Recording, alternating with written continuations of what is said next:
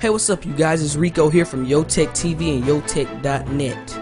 Alright, so, like, the internet has been very, very interesting these last few weeks, and a lot has been going on. So, we know Apple has released iPhone 4S, iOS 5 is going crazy. Everybody is like battling between the Android and the iOS 5 and the just everything. So we know they just released Android just released Android 4.0 Ice Cream Sandwich, which is the new iOS for Android users. And I already know, I already know it's gonna be a big argument about is it which is better, iOS 5 or Android 4.0 Ice Cream Sandwich. So I had to bring the topic up because I mean I would like to know how everybody feel about this. Like me, honestly, I love Android more. I'm not saying that Android 4.0 is better because I haven't even tested it and no one has. It's just a quick review on what do you guys think is going to like. What do you guys think of it?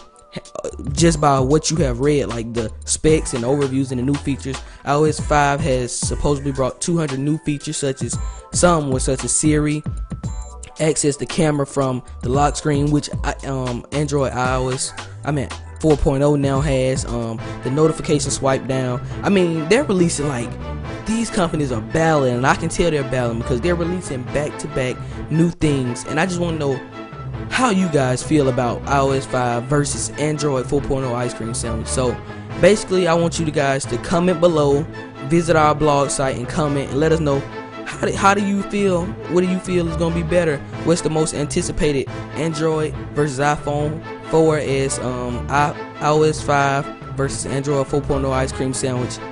Apple versus just Google. It's just like battles, battles, battle. The Samsung Galaxy, um, yeah, the Samsung Galaxy Nexus just dropped. I mean, they're dropping the Samsung Galaxy S2.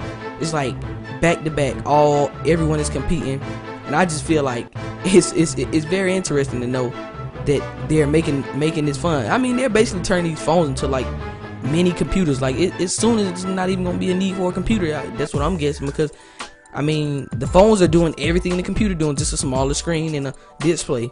Other than that, just let me know how you feel in the comments below. Subscribe, check out the blog, comment on there. Tell me iOS 5 versus Android 4.0.